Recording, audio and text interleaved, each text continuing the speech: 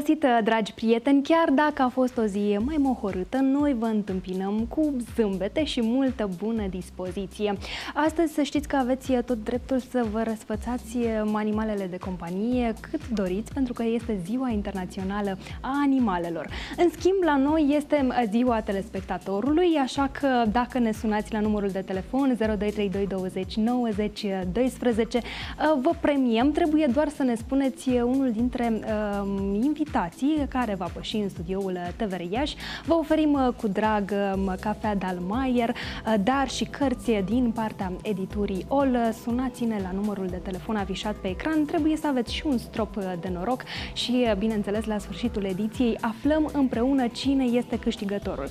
Să nu uit să vă spun că a început și duelul viorilor um, la Iași. Um, duelul va ajunge mâine de la ora 19 la Teatrul Național Vasile Alexandrii. Este un proiect uh, organizat de Radio România, apoi uh, turneul continuă la Tulcea pe 7 octombrie, Caracal 9 octombrie, București 10 octombrie și așa mai departe. Găsiți dumneavoastră cu siguranță uh, lista completă dacă veți căuta informațiile și pe internet. Vă spun și cine sunt astăzi invitații sau subiectele despre care vom discuta.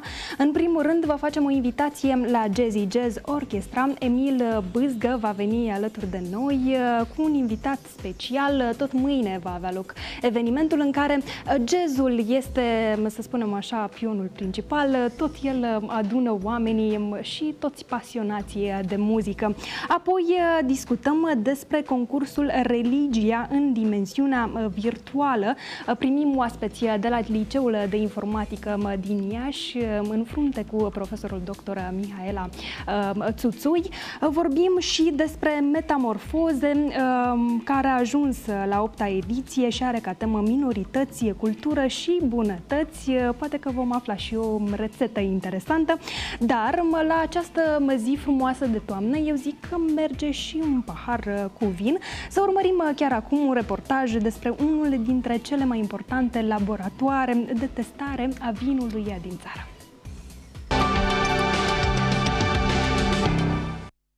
Thank you.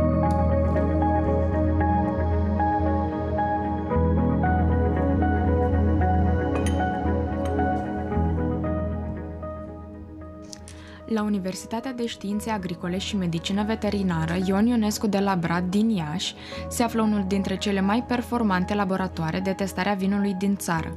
Aici putem găsi aparatură de ultimă generație, cu ajutorul căreia se stabilesc conținutul de zaharuri, gradul alcoolic, soiul vinului și mulți alți parametri. În orice unitate să știți că laboratorul e inima. Dacă nu faci analize, n-ai cum să știi evoluția vinului se iau probe de la must, deci pornind de la must și până la vinul final. Dar cel puțin o dată pe lună ar trebui vinurile analizate chiar în timpul, în timpul stocării. Poți să vezi evoluția lui, poți să vezi dacă e sănătos, dacă uh, au apărut uh, diverse transformări, mai mult sau mai puțin dorite, mai ales cele mai puțin dorite trebuie înlăturate. De ceea ce ne ferim și ferim, mă rog, lumea e foarte speriată, acel conținut în sulfiți care e scris pe etichetă.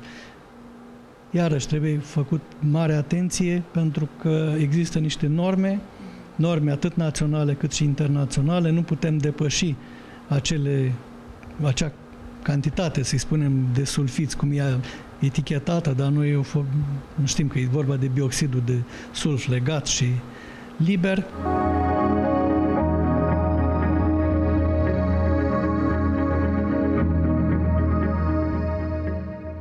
În acest laborator sunt aduse inclusiv probe de vin din alte orașe, Analizele obișnuite ale vinului presupun un cost, iar cele pentru cercetare aprofundată unul mai ridicat.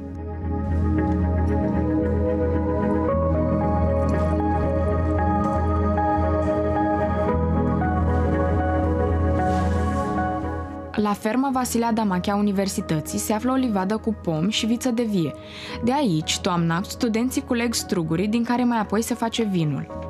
Noi avem o colecție ampelografică, o colecție de soiuri de vițe de vie, și câmp didactic și pentru păstrarea anumitor soiuri care se află mai la nivel de colecții.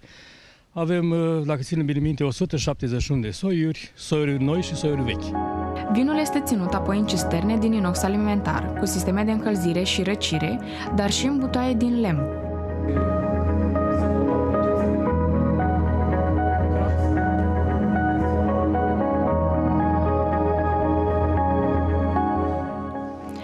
Universitatea adăpostește și unul dintre cele mai interesante beciuri din țară, beciul lui Adamachi.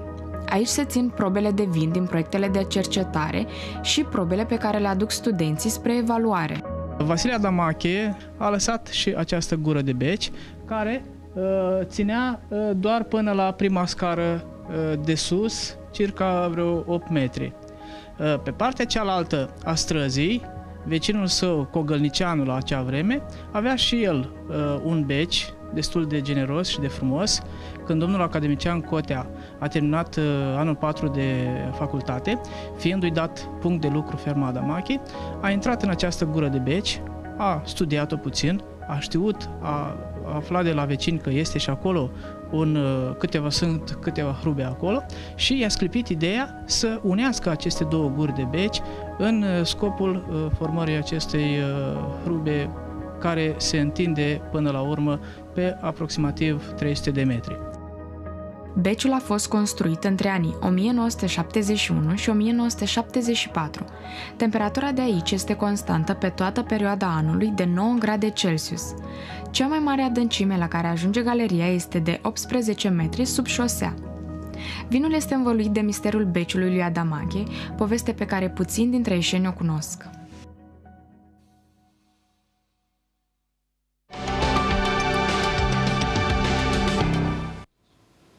Ei, nu vă gândiți că avem uh, acum vin în pahare, ci vin informațiile despre vin în această uh, după-amiază.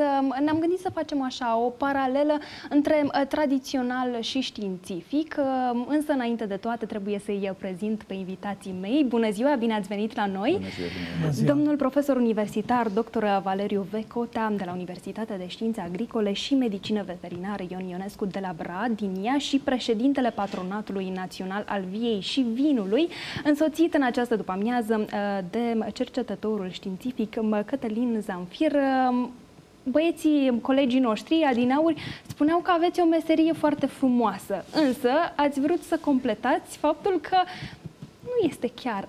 Adică este o parte foarte frumoasă, dar nimeni nu știe cât este de greu. Da, îmi permiteți să... Vă rog. Este o meserie frumoasă, că altfel am fi plecat de aici. Era clar că nu ne nu ne ține nimic legat. Uh, dar este și grea pentru, ca orice meserie. Pe de altă parte, dacă o faci cu plăcere, nu e grea. Partea grea este acum, e toamnă și trebuie făcut vinul. Bine, vinul la general, dacă vorbim de o cramă care face vin, și probele noastre experimentale. Acum, dacă nu facem probele experimentale în toamnă, tot anul nu avem ce studia. De asta este un pic aglomerată și, și grea, dar și frumoasă. Și care este rolul unui cercetător științific în vin?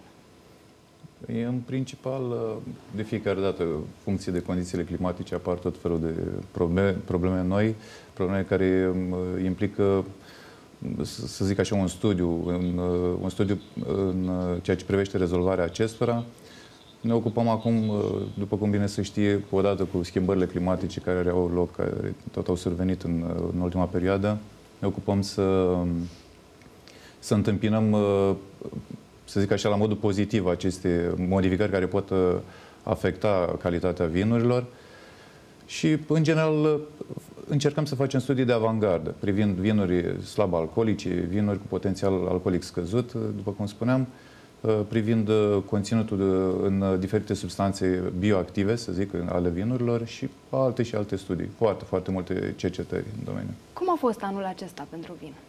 Din punctul meu de vedere, uh, în ceea ce privește Podgoria Iași, aș considera că a fost un an relativ echilibrat, comparativ cu anul trecut, cu o ușoară creștere a producției.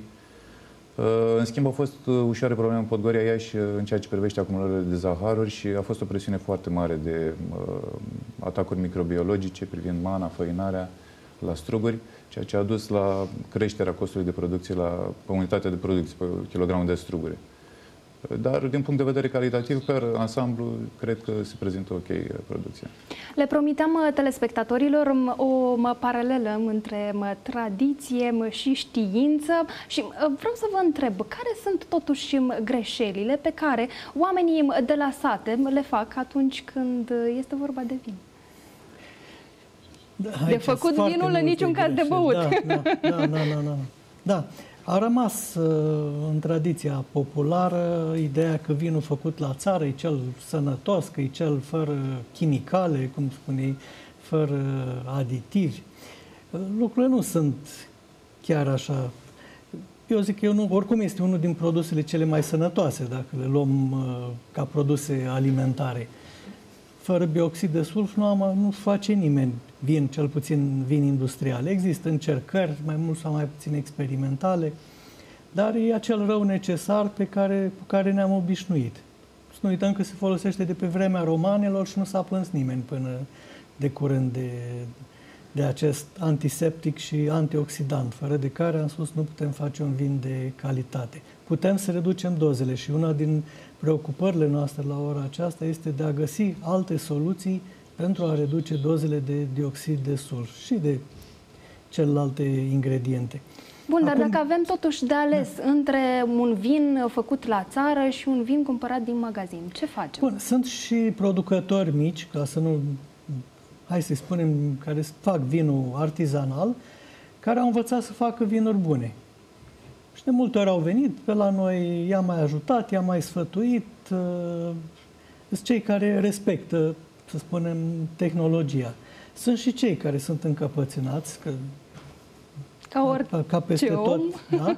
și care știu ei de la bunicul, de la străbunicul, cum se face și, bineînțeles că nu, nu le iesă dând vina pe tehnologie. Dar așa, uh, poate câteva sfaturi pe care ați putea să le oferiți uh, celor care ne urmăresc acum și care vor să facă vin atunci când merg la țară? Cred că uh, cel mai grav, hai să-i spunem, lucru care se întâmplă cu vinurile făcute în mediul, hai, la țară sau, este acela de a lăsa să fermenteze, chiar cum fermentează. El nu e o temperatură controlată, dar nici volumele nu sunt așa de mari ca să crească temperatura. Și îl lasă, după ce fermentează, lasă să se limpezească și îl lasă cam până după anul nou să-l tragă de pe drojdie, de pe depozitul de drojdie. Și atunci drojdia aia se alterează, tot gustul rău de la drojdie intră în, uh, trece în vin, vinul are un gust de drojdie alterată și el spune că asta e vinul natural, ăsta e, caută gustul ăsta și care probabil că omul, dacă defect, se obișnuiește cu acest gust, va considera da. într-un da. final că acesta e cel Sau mai bun, vinul nu? Întotdeauna frumusețea, întotdeauna, îmi cer iertare, întotdeauna frumusețea e în ochii privitorului. Adică cu ce ești obișnuit, cultura în care ai crescut, aia te definește. Vei alege întotdeauna ceea ce uh, ai experimentat în viața ta. Sunt foarte puțini și lumea în general este reticentă să facă schimbări în, uh, în uh, profilul lor gustativ, să zic așa, sau în uh, alegerile pe care le fac ei în general cu toate produsele. Nu vorbim aici numai de vin. Asta e una din uh, cauze. Din punctul meu de vedere, eu cred că ar trebui să venim mai des, să avem uh, cât mai multe, uh, să zic, contacte așa cu potențialii consumatori, cu Uh, oamenii care au preocupări în domeniul viticulturii și al vinificației, să încercăm să-i culturalizăm, să, să, să-i atragem mai mult pe, spre partea științifică a domeniului. Asta cred că este un subiect. Asta n-aș putea să spun cum am putea să o facem, dar oricum ne organizăm tot felul de workshop-uri, tot felul de întâlniri, întâlniri în care și încercăm să, să venim în întâmpinarea consumatorilor. Ori de câte ori vine cineva la noi la laborator, la Centrul de Cercetări pentru Enologie sau la laboratorul de enologie al Universității Științe Agricole uh, și cere sfaturi, este bine primit și cu siguranță le primește. Care este cea mai frecventă întrebare pe care o primiți uh, de la cei care consumă vin? Da, vă spun eu, care, care e vinul cel mai bun? Da. Așa. și ce răspuns le oferiți? Vinul da, care îți place. Care îți place.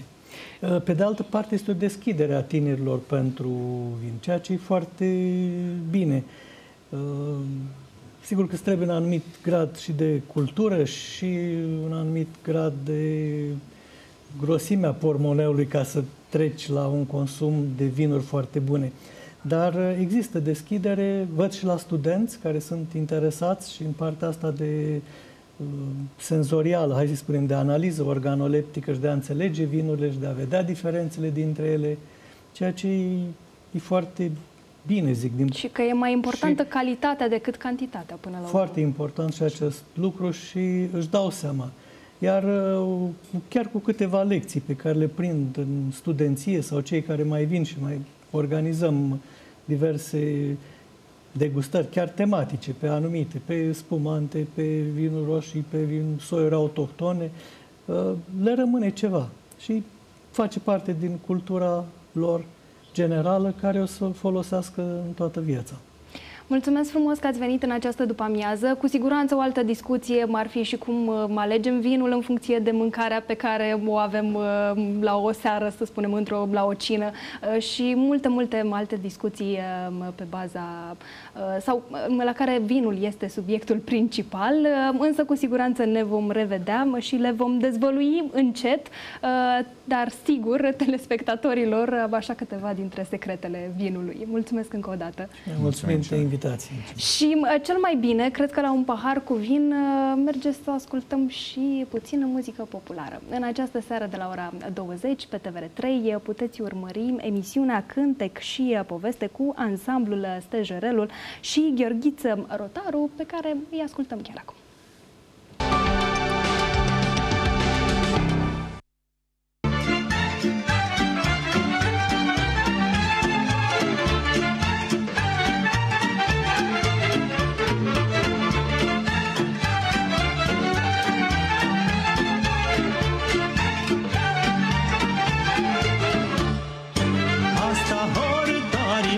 Și când se prind puteți o joașii, altă treabă n-au și pașii, ram, tiri, tiri, tiri, tiri, tiri, tiri, tiri,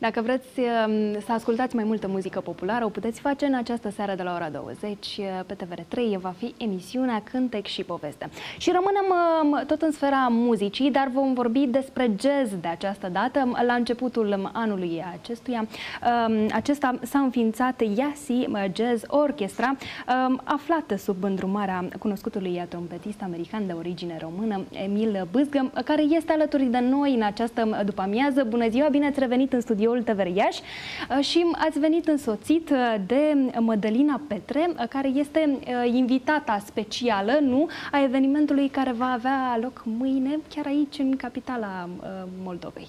Absolut. Și vă mulțumim pentru invitație din nou.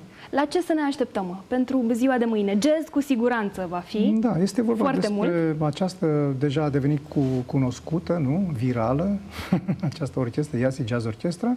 Uh, ne continuăm stagiunea noastră pe 2016 într-un club elegant, uh, Teatrul Fix de pe Cuzavodă. Uh, vom um, aborda un repertoriu, să spun așa, mai um, comestibil, să zic așa, un standard jazz, piese foarte cunoscute, într niște aranjamente superbe. Um, și, bineînțeles, avem o invitată specială, este vorba de Madena Petre, vocalista noastră, venită de la București. Sunt foarte obosită, am la aeroport. Oh. Dar um, a venit în această după-amiază Absolut. la noi și vreau să știu um, de la tine de ce ai răspuns uh, prezent um, atunci când ai primit uh, invitația aceasta de a participa la acest proiect.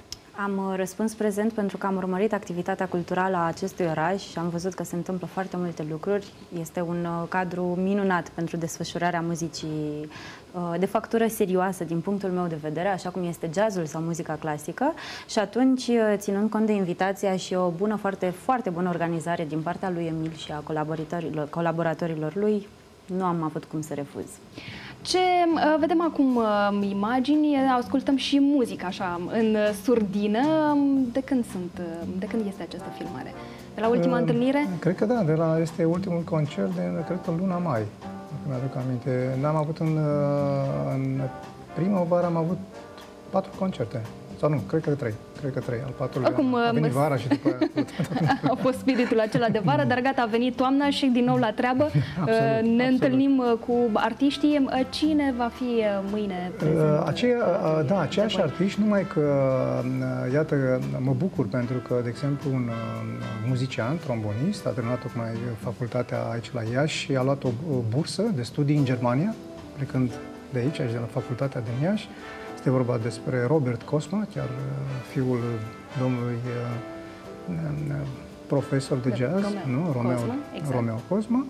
M-am bucurat foarte mult, a trebuit să înlocuim, nu? Atunci și atunci, oh, trebuie să înlocuiesc, trebuie să găsesc alți muzicieni.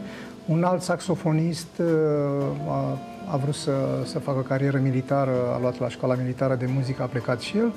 Then, um, și cine a rămas până la urmă? Păi, mă, să recapitulăm, poate că sunt persoane vin, care nu pleacă. știu. Deci unii vin, alții pleacă, dar m-am bucurat că... Dar cine este mâine? Uh, mâine vor fi, uh, am așa să zic, am uh, patru muzicieni absolut noi nouți. Doi saxofoniști, doi tromboniști, da, și un pianist, și un pianist da, și un pianist. Ei sunt, au terminat conservatorul, unii sunt studenți, alții sunt la filarmonică, alții sunt la operă, alții sunt freelancer, eu, freelancer și așa mai departe. Then, uh, Dar găsim, chiar dacă se întâmplă ceva, jazzul? dacă se întâmplă ceva cu, cum să spun eu, descompunerea acestei orchestre, uh, este loc pentru fiecare, ea uh, deci orașul ăsta are foarte mulți muzicieni foarte, foarte buni și trebuie să, să facem ceva cu ei. Madalina, de ce nu ar trebui să lipsim de la această întâlnire? De ce nu? În primul rând pentru că s-a muncit foarte mult și orice produs care s-a realizat cu efort susținut și cu muncă merită văzut, admirat, apreciat, cunoscut și de ce nu? Este un punct de plecare pentru ca publicul din Iași să se dezvolte în această direcție. Deși știu că aveți un public foarte bine construit și elitist din punctul ăsta de vedere, sunt ferm convinsă că prezența acestui big band în oraș va dezvolta cu mult mai mult gusturile și preferințele auditoriului. Pentru tine, de ce muzică jazz? Asta este o întrebare foarte interesantă, cu atât mai mult cu cât eu sunt de formare chitaristă, pe chitară clasică. Asta am studiat la Universitatea Națională de Muzică din București. Așa s-a întâmplat, ca la un moment dat să ascult un concert de jazz, unde improvizația mi-a sucit pur și simplu orizonturile, mințile, viziunea și de atunci am vrut să studiez muzică improvizată și nu mi-a mai schimbat uh, sub nicio formă opțiunea din acel moment. Ce vrea să aducă proiectul acesta nou? Să spunem, să readucă în inimile oamenilor jazzul, muzica. Um, care a fost până la urmă punctul de plecare? Mai bine zis să readucem, să readucem în oraș muzica de jazz. Eu am crescut uh, în acest oraș. Uh, mergeam la concerte, cum am mai spus și în alte emisiuni, în clasa 6 mergeam la concerte la Filarmonică, Ion Baciu Junior, Romeo Cosma, nu? Titel Popovici. Deci Iașul a avut muzicieni de jazz și a fost o perioadă în care mulți am plecat din țară, am venit, nu știu ce, și jazzul cumva nu a mai existat și am vrut să-l readucem înapoi în oraș. Să nu uităm că a fost și festivalul uh, de jazz Richard A fost și Richard Roșanischi și intenționăm să, să ne mișcăm uh, mai mult pe, pe, nu? pe acest uh, gen de muzică. În Ardeal există foarte multe festivale, chiar am fost la festivalul de la Gălân, a invitat, mai sunt și la Cluj. În Moldova deocamdată nu avem niciun festival de jazz, dar am făcut această orchestră ca să acoperim cumva aceste lipsuri, nu? Este vorba de 16 persoane, avem și invitații, am să aduc cum a venit Mădălina acum, a fost și Sorin Zlat, vom aduce și din străinătate, de încercăm să, să avem, uh, cum să spune, o instituție de jazz a orașului, mai bine zis.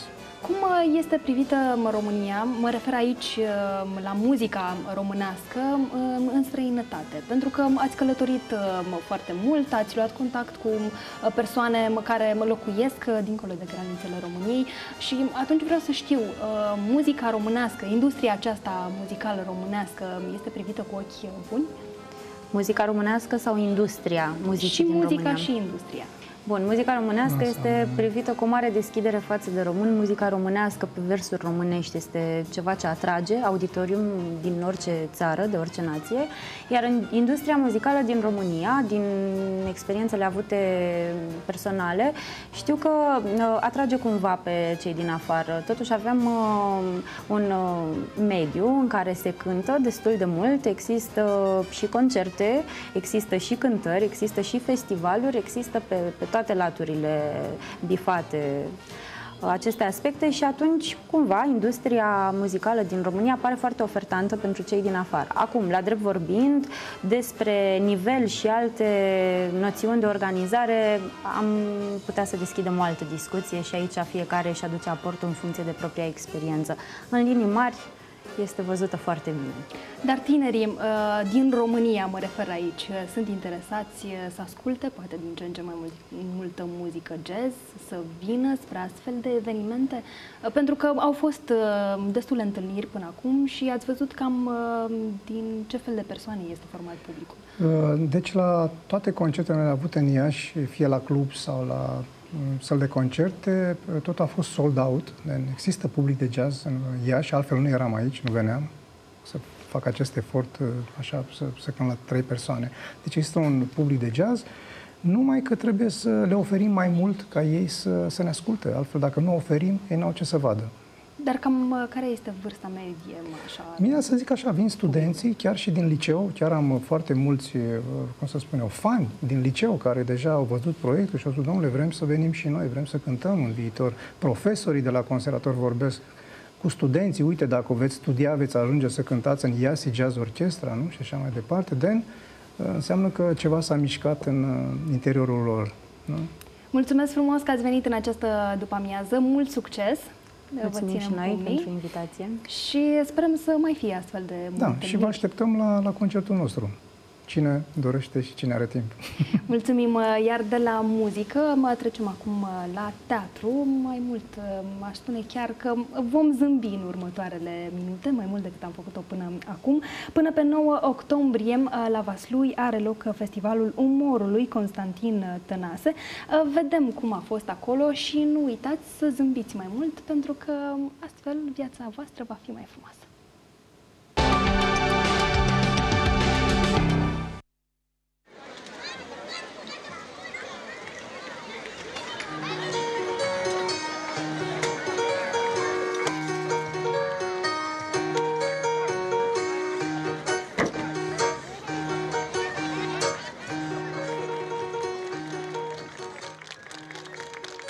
Zeci de spectacole ce sunt puse în scenă pe durata celor 8 zile de festival, precum și numele unor actori consacrați ai teatrului românesc în Bienala Constantin Tănase de la Vaslui. Dintre numele sonore prezente la cea de-a 24-a ediție a festivalului, îi amintim pe Florin Piersic, Horațiu Mălăiele, Dan Puric, Mihai Mălai Mare. Festivalul Umorului Constantin Tănase, organizat de Centrul Județean pentru Conservarea și Promovarea Culturii Tradiționale Vaslui, Consiliul Județean, Primăria Vaslui, Biblioteca Județeană și Muzeul Județean și-a deschis porțile. În piața civică a orașului, Teatrul Masca, condus de actorul Mihai Mălai Mare, a adus o primă interpretare a statuilor vivante prin alegoria orientală Vânt de primăvară prin piersici. În mod special anul ăsta, acum e o zi frumoasă, e cald, programul l-am văzut, e, e din punct de vedere calitativ, valoric, este substanțial. Și mă bucur foarte tare că și uh, publicul, uh, din câte am văzut și din câte am, am aflat, a, um, s-a calchiat pe dorințele organizatorilor și participă în număr foarte mare. Mă bucur, e important ca un eveniment cultural de dimensiunea asta să, să fie întreținut și, și să aibă loc.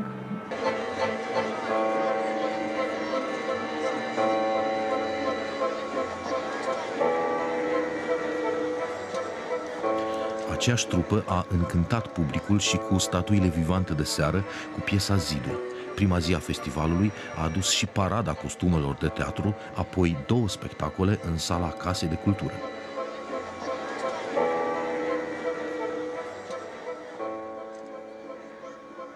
Sunt supărată că a murit Ofelia? Da, trăim o dată cu personajul. Așa este lumea teatrului. Oamenii mor, sunt de fapt actori, mor personajele. Da, aveți dreptate. O vom vedea, credeți, și peste 2 ani când va fi Constantin Tănase aici? Sperăm să facem cunoștință cu alte personaje.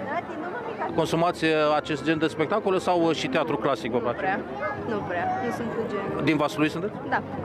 Este bună această inițiativă ca odată la 2 ani da. să fie un astfel de spectacol? Este și foarte educativă, mai ales pentru cei mici tăi.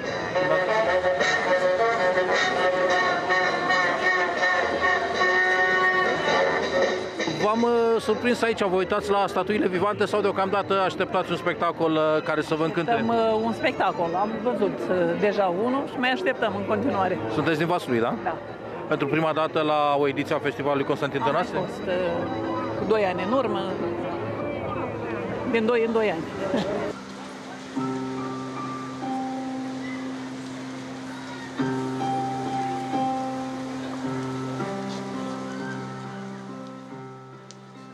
Sunt extrem de încântat pentru că în condițiile în care centrul civic este plin, dacă am fi avut o sală de 2000 de locuri și nu exagerez cu nimic, credeți-mă, cred eu că am fi umplut până la refuz această sală. Este pentru mine un lucru îmbucurător, pentru că acest festival a redevenit ceea ce a fost înainte de Revoluție. Trebuie să recunoaștem că a avut un moment de cumpănă, dar încet, încet lucrurile își revin și câtă vreme avem cui să ne adresăm, înseamnă că suntem pe drumul cel bun.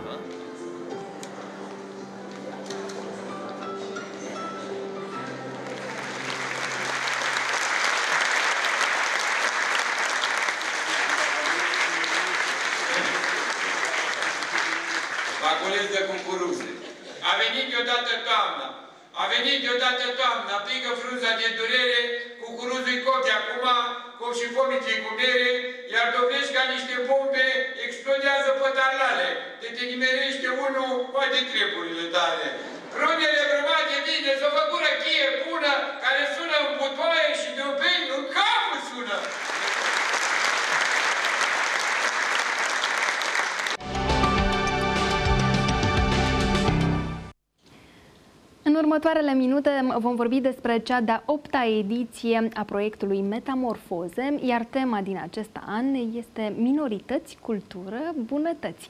Alături de mine în această după-amiază este doamna Daniela Popescu, organizator al evenimentului, expert al Comisiei Naționale a României pentru UNESCO și președinta Federației Asociațiilor, Centrelor și Cluburilor UNESCO uh, din Europa și America de Nord. Bună ziua și bine ați venit la noi! Vă mulțumesc și pentru ea și vă mulțumesc în același timp și pentru invitația dumneavoastră. Eu nu le-am dezvăluit foarte multe telespectatorilor uh, despre acest proiect, pentru că v-am lăsat uh, pe dumneavoastră să le explicați de fapt ce se întâmplă mâine la Iași și ce bunătăți uh, vom Pregăti. putea chiar să mâncăm, dacă stau bine să mă gândesc, nu? Da, bineînțeles. Aș dori să fac la început un mic istoric al acestui, al acestui proiect pe care dumneavoastră, într-adevăr, l-ați anunțat, este la 8 ediție. În 2009, la dorința UNESCO de la Paris, pregăteam prima conferință internațională Tineretul și Muzeele. Atunci au fost invitați reprezentanții din 16 țări ale Europei și mai ales din marile muzee ale lumii și în același timp tineri, dornici să pășească într-un spațiu cultural. Ceea ce a rezultat din această conferință a fost dorința de, a, de asemenea a muzeografilor și în același timp și a tinerilor să pregătească împreună, într-un viitor mai apropiat sau mai depărtat, un spațiu cultural în care să se regăsească identitatea europeană.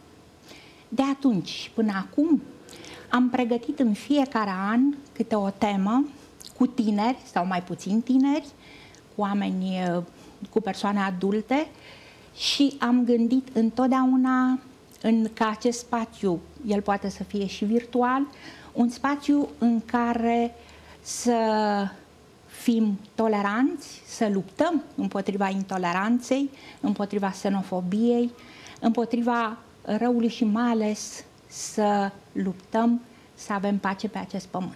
Iașul este astăzi la 8 ediție un uh, spațiu în care noi ne regăsim cu toții, reprezentanți ai minorităților din toată țara, care vor veni aici și vor încerca să pregătească câte un meniu care este tradițional minorității respective. Așadar, am spus bine că vor fi multe bunătăți Foarte multe mâine. bunătăți. Mâine va fi întâlnirea. Astăzi sosesc participanții. Mâine începem cu supă pe care ne vor pregăti cei de la minoritatea romă. Vom, vor urma ucrainienii, armeni, italieni, că aveți o minoritate serioasă, la fel și grecii, care cred că vor veni și cu un spectacol sâmbătă la finalul acestei acestui proiect, acestei întâlniri. Deci mâncăm supă, e posibil să mâncăm și paste mă, și mă, vom paste, afla probabil... gulaș, piroși, Spuneți tot, pentru, mai ales șuberet, pentru cei care nu au mâncat până la ora tătară, aceasta. minoritatea tătară, minoritatea turcă, bineînțeles că ne desfătăm și cu baclavalele, nu? Așa, și același lucru bun. și doamna de la uh, minoritatea germană o să facă arlechin un, o prăjitură specifică nemților. Nu ne, ne gândeam că vine un arlechin va să întrețină atmosfera mâine. Arlechinii pot veni pentru că sunt, aduc nu, frumosul, binele, iar dumneavoastră aveți un soare special. De când am venit de, sunt astăzi, a treia zi la dumneavoastră și m-am desfătat cu această vreme minunată, minunată de octombrie. Ne bucurăm că vă place aici la Iași și să veniți din ce în ce mai des, mă aș spune. Și pentru că tot vorbeați de acele mâncăruri foarte, foarte gustoase, știu că rețetele, nu, vor fi, se vor găsi într-o carte. Da, vom pregăti o carte online, ceea ce dumneavoastră aveți în mână și eu v-am adus ca să vedeți, este rezultatul proiectului de anul trecut. El este un proiect care a fost parțial finanțat de UNESCO Paris, s-a numit uh, Istoria noastră comună în limba română este delicioasă și am avut invitați tineri din 17 țări ale uh, Europei. Vreau să vă spun că nu suntem întâmplători anul acesta la Iași, uh, pentru că 2016 înseamnă pentru noi, pentru lucrătorii uh, UNESCO din România, înseamnă o sărbătoare, celebrăm anul acesta 60 de ani de când România este stat membru UNESCO. Le arătăm acum uh, telespectatorilor uh, și această carte. Ce se găsește exact, ce bunătăți sunt aici, vedem din Bulgaria, Să Cipru. că toată lumea a venit și a pregătit, deci dumneavoastră ceea ce vedeți în carte și la fel vom pregăti un, uh, o editură și o publicație online și în cazul uh, proiectului nostru de la Iași este făcut numai în timpul zilelor, deci în timpul săptămânii de acolo. Tinerii sunt cei care au lucrat, Uh, și care au gătit împreună. Mai mult decât atâta, uh, tânărul din Turcia care a venit a ținut foarte mult să-și aducă și a venit uh, cu toate ingredientele, cu toate legumele din Turcia, nici roșii, nici vine, păi au spus că vor neapărat... gustul rețetei, nu? da. Nu știu, s-au gândit că poate, au spus nu, poate nu o să găsim vinete atât de mici cum trebuie să fie cele făcute de, cum sunt cele de la noi și atunci au venit cu toate produsele de Fiecare de bucătar acolo. știe foarte bine ce trebuie mă, să facă în, Aveți dreptate. Nu? Da. în bucătăria lui, să spunem așa, Aveți și dreptate, dacă da. rețeta trebuie să iasă, mâncarea trebuie să iasă într-un anumit fel, nu se poate schimba nimic din rețetă. Nu, nu. Dacă pune și puțin suflet, atunci o să iasă totul extraordinar. Veți găti și dumneavoastră? Bineînțeles. Acesta este, uh, cum să vă spun, ceea ce ne unește pe noi în toate aceste proiecte UNESCO. Deci, în fiecare zi pregătim câte trei sau patru rețete de la patru minorități. Trei sau patru minorități toată lumea pregătește și vede în coordonat de reprezentantul minorității respective produsul pe care noi îl vom, sau felul de mâncare pe care noi uh, îl vom avea la prânz și seara. De exemplu, Mâine seară, la deschidere, unde vă și invităm, într-un restaurant care a fost, și știu că nu am voie să spun numele, nu pentru că nu vreau cine să... este interesat, da, cu siguranță găsește informațiile. Bineînțeles că va găsi invitațiile, uh, uh, va găsi pe um, informația pe internet. Uh, este și mulțumesc acestui restaurant pentru că să știți că nu este, nu găsești peste tot oameni atât de deschiși și să te poată primi și tu să lucrezi, să lucrezi în bucătăria lor. Noi asta vom face. Noi vom lucra în, uh, și vom pregăti bucatele noastre, așa cum vă spuneam, mâine seară uh, pregătim uh, o masă tradițională bulgărească. Chiar acum, înainte de a intra în emisie, reprezentantul minorității bulgare din Banat, care vine spre noi, m-a sunat și mi-a spus că are mașina plină de oale, vase, pentru că ei vor găti niște vase de lut care se vor băga în cuptor. Ei, este o mâncare... Mai bun. Da, Așa. este o mâncare specială a lor cu o zacuscă de uh, ardei și împreună vom uh, sărbători această seară. Trebuie să ne întâlnim și după eveniment să puneți așa deoparte pentru telespectatorii noștri puțină câte zacuscă, mă, câte un pic așa din fiecare da, mâncare bineînțeles, pe te- la televizor să știți că nu este așa de parcă nu se, poate mirosul să-l simțim, dar, dar cu siguranță este ați vorbit atât de frumos dificil. Uh, despre da. mâncare încât uh, telespectatorii noștri cu siguranță se gândesc la ce să-și gătească în această seară și uh, dacă nu, să spunem că pot să afla și noi. rețete noi da, până mâine. Să vină la noi și noi le putem oferi sau îi putem îndruma vom fi îndrumătorii Iașiului, în Iași de această dată. Nu mai avem uh, foarte mult timp uh, la dispoziție, așa că vreau să știu de la dumneavoastră dacă acest proiect va continua și uh, dacă, nu știu, v-ați gândit deja la o temă pentru anul viitor.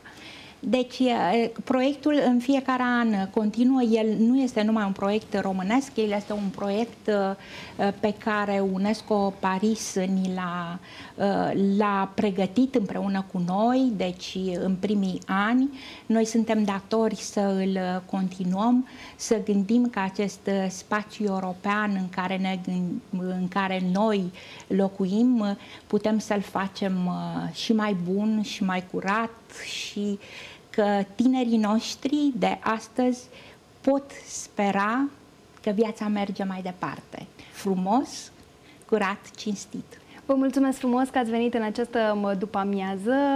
Vă mulțumesc și eu. Cu siguranță abia așteptăm uh, să vedem ce se va întâmpla în continuare și pentru că tot ați ajuns uh, la discuția aceasta despre tineri, um, spun da. să descoperim mai multe despre un proiect al Asociației uh, Iubire și Încredere. Acesta se numește Muzica e Viva, copiii cântă. Mai mulți profesori ajung în școli, promovează arta cântului coral, dar mai multe aflați dumneavoastră din reportajul următor.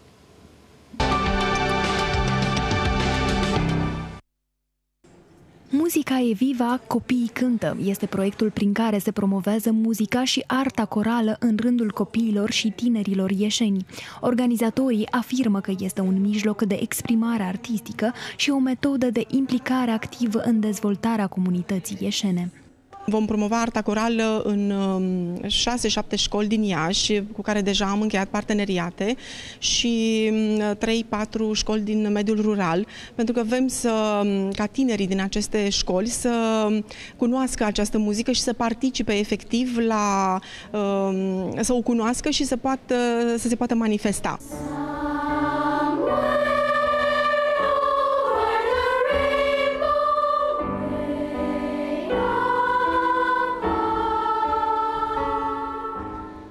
Pe lângă întâlnirile din școli, specialiștii organizează în cadrul proiectului, care va ține până în luna decembrie a anului în curs, concursuri. Își doresc să consolideze un repertoriu coral amplu și dinamic pentru corul de copii Muzica Viva al Asociației Iubire și Încredere. Să imprime un CD audio cu piesele interpretate, dar și să organizeze un șir de 10 concerte tematice. La Iași a avut loc simpozionul și dezbaterea pentru promovarea cântului coral pentru copii, la care au participat specialiști din domeniul muzicii. Ansamblu coral te scoate din sfera conținuturilor de specialitate, predate metodic, didactic și te aduce în sfera um, muzicii făcută din plăcere. Um, ca părinte, încurajez părinții să-și aducă copiii la cor, pentru că în lumea noastră este esențial.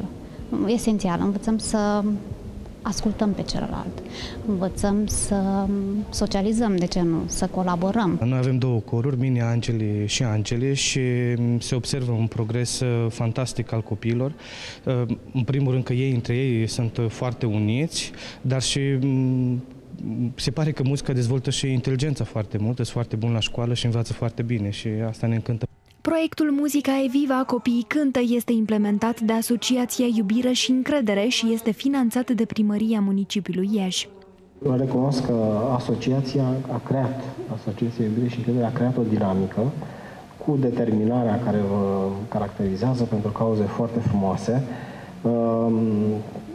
Nu mă îndoiesc că și muzica viva va fi un proiect reușit, păstrând proporțiile, la fel ca și cât de reușit a fost și Festivalul Gabriel Muzicescu. Beneficiarii proiectului sunt 30 de copii ieșeni care aparțin mai multor categorii sociale care fac parte din corul de copii Muzica Viva, dar și peste 650 de copii, tineri și profesori ieșeni care vor beneficia de cunoaștere aprofundată a artei corale.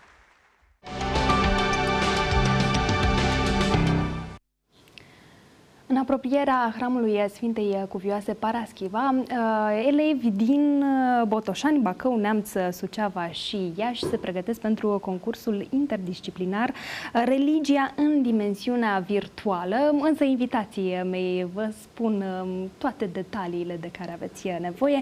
Îi salut! Bună ziua! Bine ați venit la noi! Bună ziua! Bună ziua. Bună ziua. Doamna profesor dr. Violeta Țuțui de la Liceul de Inform- Teoretic de Informatică Grigore Moisi Vasilă din Iași și elevele Ana Maria Zânceanu și Mihaela Gimiga. Așadar, e un moment frumos în care ne întâlnim. E un concurs la care știu că vă doriți să participați și sunt sigură că sunt emoții, dar constructive. În ce constă acest eveniment, de fapt acest proiect? Acest proiect constă în uh, invitarea elevilor de liceu de a participa la o competiție realizată de ei sub coordonarea a doi profesori de informatică și de religie, proiect intitulat Religia în dimensiune virtuală.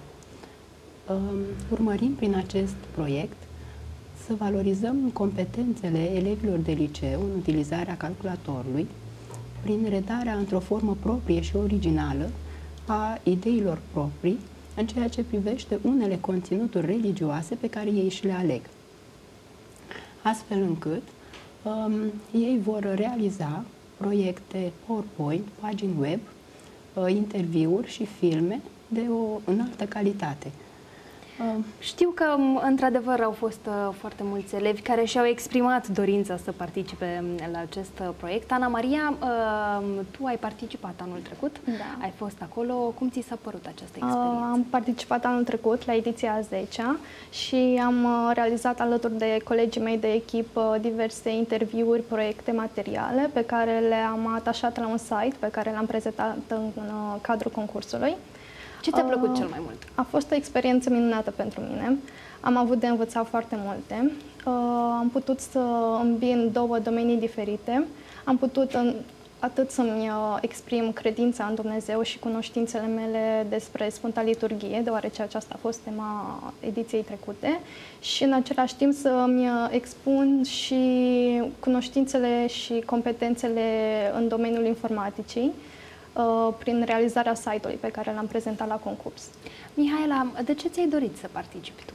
Mi-am dorit să particip la acest concurs pentru că îmi place ideea pe care o susțin, aceea de a îmbina informatica cu religia, întrucât informatica are pas cu pas uh, va fi un viitor, va fi un viitor. Iar religia contează foarte mult deoarece este și pentru noi ca o educație. Învățăm să fim mai aproape de Dumnezeu, să, să, chiar și să ne autocunoaștem. Spuneam că au fost foarte mulți elevi care și-au dorit să participe la concurs. Dimineață a avut da, loc și avut loc preselecția. preselecție, da. Uh, am selectat din mai multe lucrări, mai multe proiecte trimise, cinci. Uh, am rămas cu două lucrări din Pașcani, un proiect din uh, Botoșani uh, și două din județul Iași. În total sunt cinci proiecte care participă la faza finală. Uh, concursul se va desfășura vinerea aceasta de la ora 14 în sala Baptisteriu a Muzeului Mitropolitan. Ce vor face în acea frumoasă zi participanții? Uh, vom aștepta venirea invitaților. Uh, sala este minunată. Se va organiza un pic activitatea. Ei vor veni cu proiectele realizate de ei se va organiza juriul. Le vor Avem... prezenta în fața da, juriului? Deci după, da, pro, persoanele, profesorii care i-au coordonat vor face parte din juriu. Iar uh, elevii vor prezenta în mod liber aceste proiecte realizate de ei. Uh, de obicei, ele sunt foarte interesante, sunt foarte frumoase. Uh, există niște criterii prin care juriul va departaja Uh, premiile și echipele câștigătoare. Vor face elevii și o excursie, nu? Dacă da, nu ca așa. premii avem, uh, o, am obținut de la primărie o sponsorizare, este vorba de niște bani, pe nu este o sumă foarte mare, este o sumă modestă, dar, este dar da, ei sunt uh, bucuroși pentru că ei muncesc și munca lor trebuie recompensată într-un fel. Iar de la uh, Mitropolia Moldovei și Bucovinei, mi s-a dat ca premiu, s-a oferit o excursie la Miclăușeni.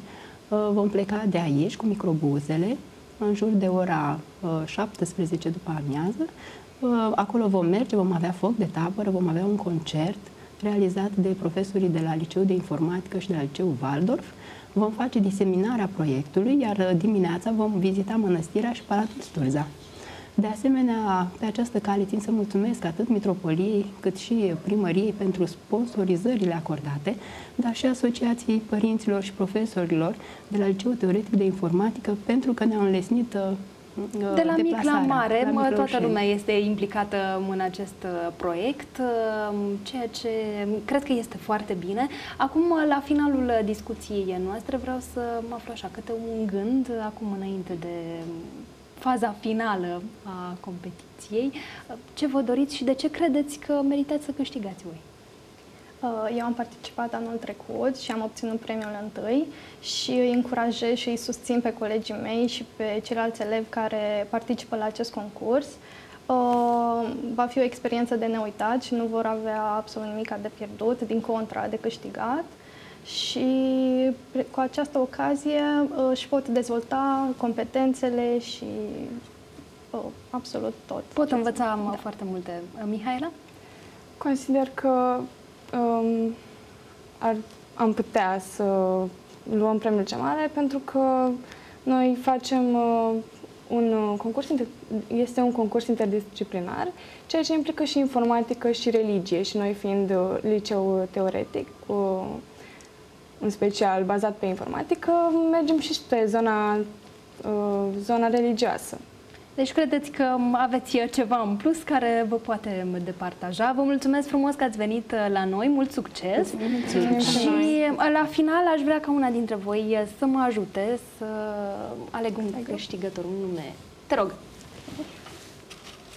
Așa, nu ai vrut să amesteci, dar... Uh, te rog, Citesc? citește! Să vedem la cine ajunge premiul. Crețu Constantin din Galați.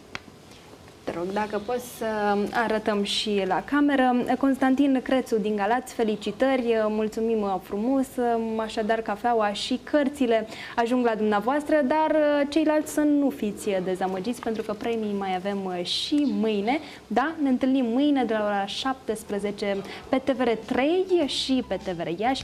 Până atunci, zâmbiți! Pentru că asta vă face bine. O seară minunată, la revedere!